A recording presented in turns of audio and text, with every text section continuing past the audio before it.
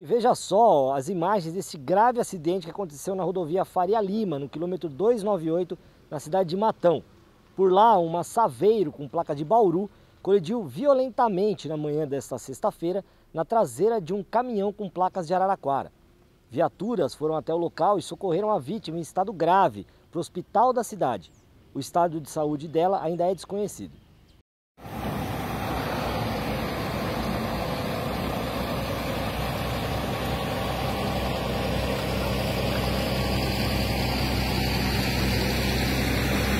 Colisão traseira.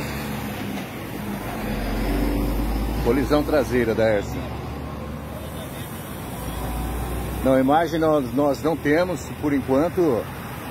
Né, eu estou gravando tudo aqui porque a situação é muito grave, né? Se mostrar ao vivo vai ser complicado. Eu estou gravando aqui as imagens para depois eu vou narrar. A vítima está nesse momento sendo retirada, ficou retida na, na, na dentro do veículo.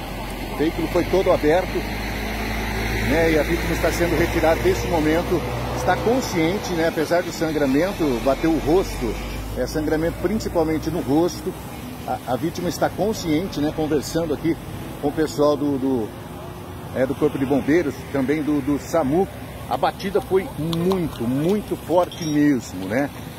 O carro ficou destruído bem aqui na rodovia Faria Lima, quilômetro 296, é, sentido Matão Jabuticabal.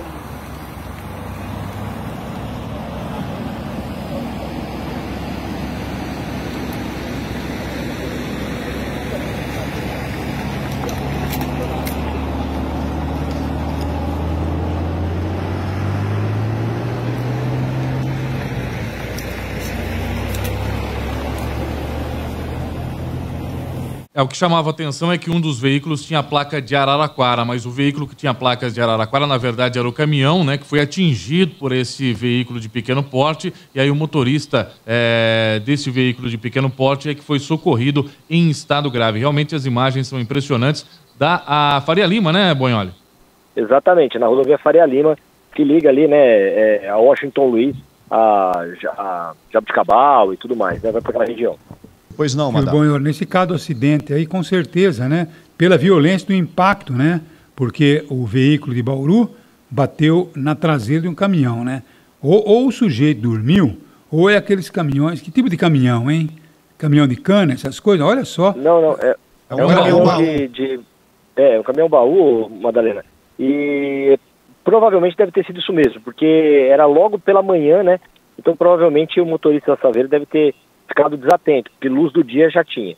Agora, essas saveiros, né, elas abusam da velocidade, são veículos leves, né, mas tem uma velocidade incrível, e esses caras vivem se matando. Você tem saveiro, por favor, né?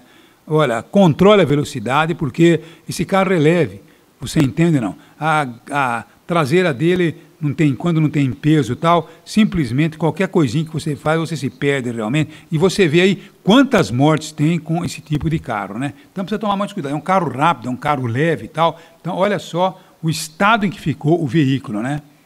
Quer dizer, ou dormiu ou simplesmente vinha numa velocidade tão grande que se aproximou tão rapidamente do veículo que nem sequer percebeu aí o impacto, né? Ou com o telefone na mão, aquelas coisas que a gente sabe que acontecem, né? Ou dormiu ou é, telefone na mão ou excesso de velocidade. É, a gente percebe pelas imagens, Madalena, que o acidente foi logo cedo, nas primeiras horas do dia. Então, pode ser sim todos esses elementos que você citou e ainda mais tendo a, vi a, visibilidade prejudicada talvez com o sol, se logo escapar, no início da manhã. Se escapar com vida é um milagre, né? Pelo estado em que ficou o carro, né?